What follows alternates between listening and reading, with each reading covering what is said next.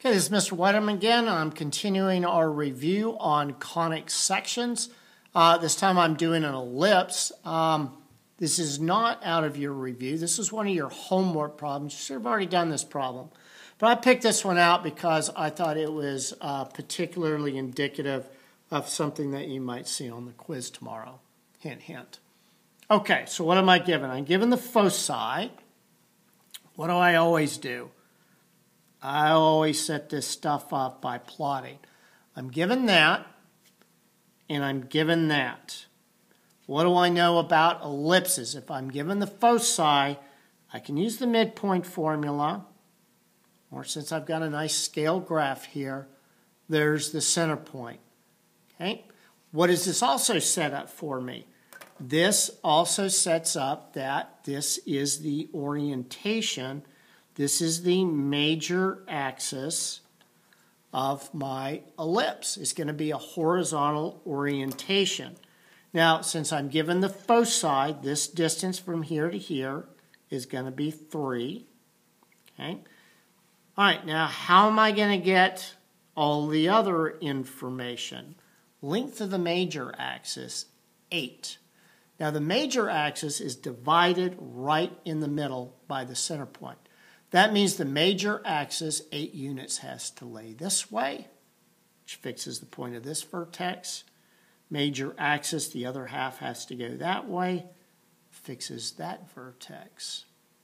All right, now that is really important because now that I have that vertex fixed, I know what my A value is, I know what my C value, and I know that A, B, and C all have a relationship. And for an ellipse, that relationship is this. It is the Pythagorean theorem, just with the letters kind of switched off in a way that doesn't make us very comfortable. But again, you have to have it memorized. Sorry about that. All right, so we're going to solve this for b squared and b. Okay, so b turns out to be plus minus root 7. Not a particularly nice number, but we can deal with it. Um, it's about 2.65 in our calculator. All right, so what that means is that's going to set my points of my major axis. So I'm going to start here, and I'm going to come up root 7 units, okay, from here. So I add that to my y value. And then I'm going to go down root 7, so that's going to fix that data point here. Just leave it in uh, irrationals. That's fine. As far as actually plotting it, uh, there is 1, 2, uh, point, there's a half, 0.65, blah, blah, blah. Close enough. Okay, so there's my graph. Now I've got a horizontal ellipse centered on 2 comma 1.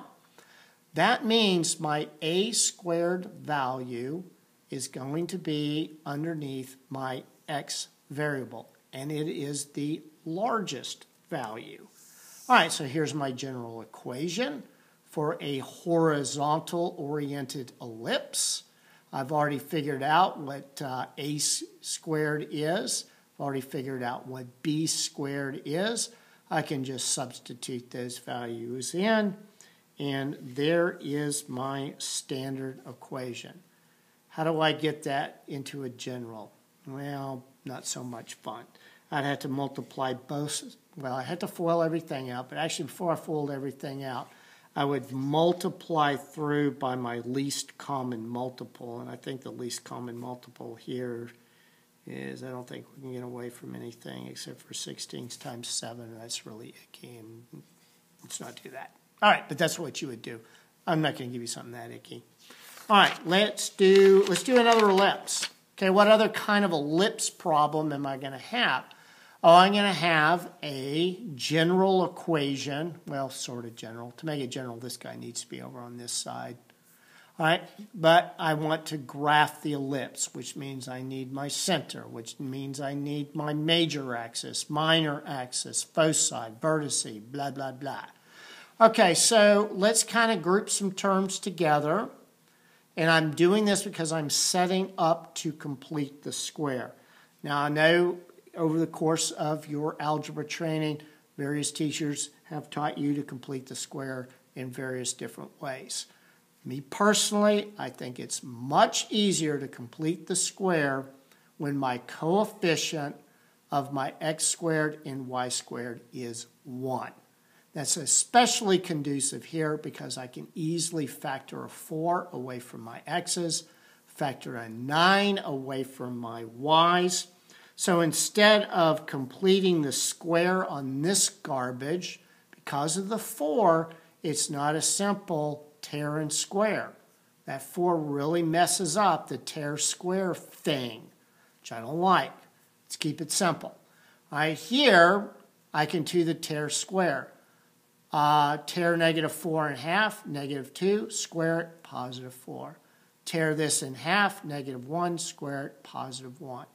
Then I have to add those to the other side. But you say, well, it's a 4 and a 1. Where did this 9 and where did this come from? Remember, we factored that away. When we go messing around with anything in these parentheses, which we did, we added a 4 in the parentheses, we have to remember that ultimately we have to distribute this 4 to it. Same here, I ultimately have to distribute this 9. So if I add 4 to this side of the equation in these parentheses, I'm actually adding 16, which I have to add to this side. If I mess around and I add something inside these parentheses here, I have to multiply it by 9. So if I stick a 1 in here, I've actually stuck a 9 on this side of the equation. So I have stuck a 9 on that side. All right, so let's factor. We get this. We know standard equation for an ellipse is equal to 1. So I divide everything by 36 and I reduce my fractions. Okay, now this is an ellipse. Where's my biggest denominator? There. That is my a squared. What is my orientation? My biggest denominator is underneath my x variable. It's got a horizontal orientation. What's left over has to do with the minor axis and B. I get my center from these offsets right here. So I've got a center, an A, and a B. Uh, I think I'm ready to go. So let's set all that stuff. There's my center. There's my A coordinates to get my vertexes. There's my B uh, guys to get my minor axis and their coordinates. Okay, what about the foci? How did I get that? Looks a little ugly. Okay, remember I've got this relationship. I know this guy, this guy. So C is plus or minus square root 5 is about 2 and a quarter for graphing purposes. 1, 2, yeah, it's kind of sloppy on the quarter. 1, to, yeah, probably should be down there a little bit, whatever. Uh, no, no, no, no, I'm sorry, foci. Let's come over here. No, I did a good job there. One, two, and a quarter. There we go. One, two, and a quarter. Nope, did a good job. So I add that root 5 to the x coordinate. Got a horizontal orientation. Okay, and there's everything that we need to know on that ellipse problem. Okay, next video will be a hyperbola, and that'll wrap it up.